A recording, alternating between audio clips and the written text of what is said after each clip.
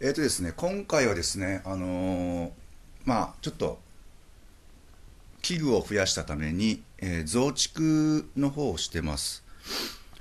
で、まあ、こ、ね、これですね、ピストバイク、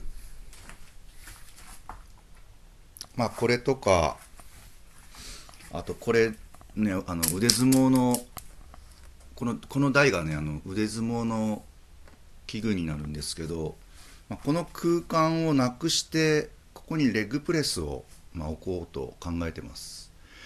に伴ってあのー倉庫をねもう一つまあ作りました。でこれにまあピストバイクと腕相撲の器具とかまあこういう小座小座のやつを全部移動させます。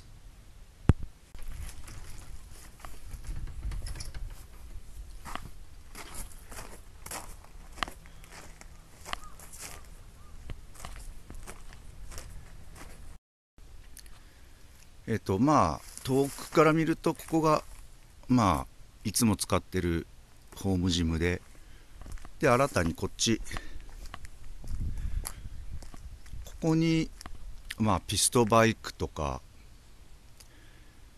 腕相撲の器具とかをあとこざこざしたものをこっちの方に、まあ、入れようと考えてます、えー今回ですねまあ購入したこのバイク。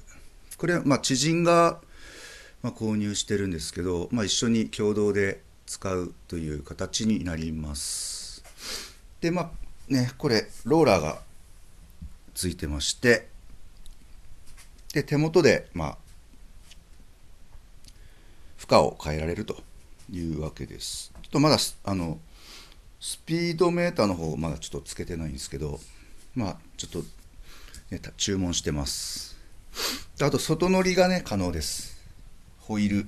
ね、ここれはまあ、家の中で使うやつですけど、こっちに変えると、外も乗れるというわけです。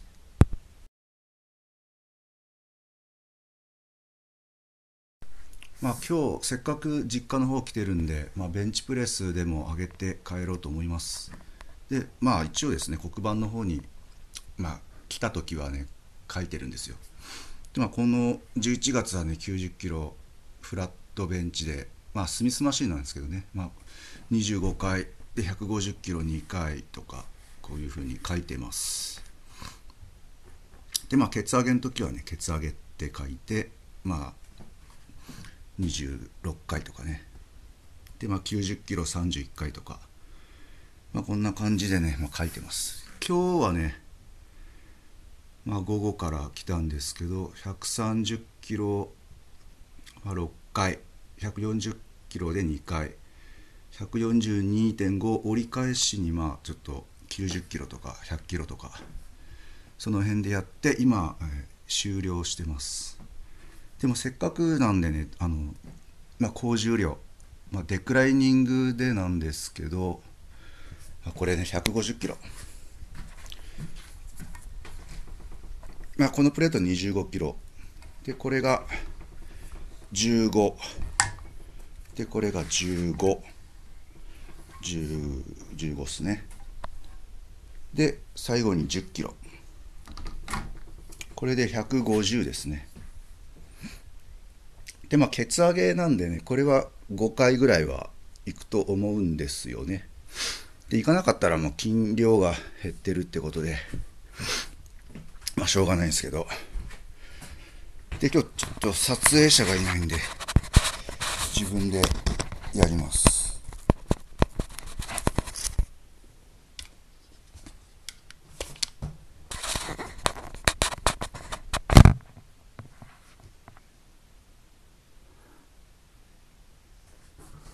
取れてるか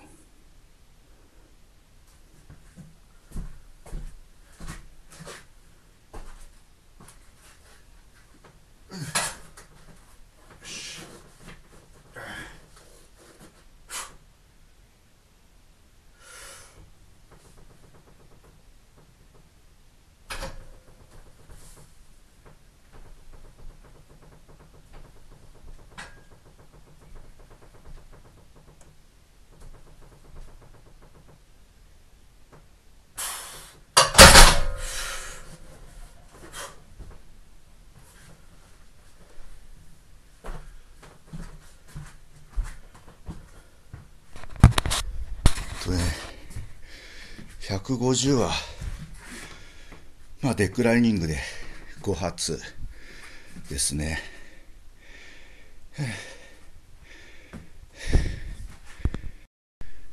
えっ、ー、とですねスクワットの方もちょっとやって帰ります。で2月の前半に右足をちょっと骨折してもう1ヶ月半ぐらい経ってまあだいぶ良くなったんで、まあ、スクワットの方ですね、まあ、重量は100キロぐらいからやっていったんですけど今これがえー、っとね25キロ25キロ。で30キロですね。15キロ15キロなんで。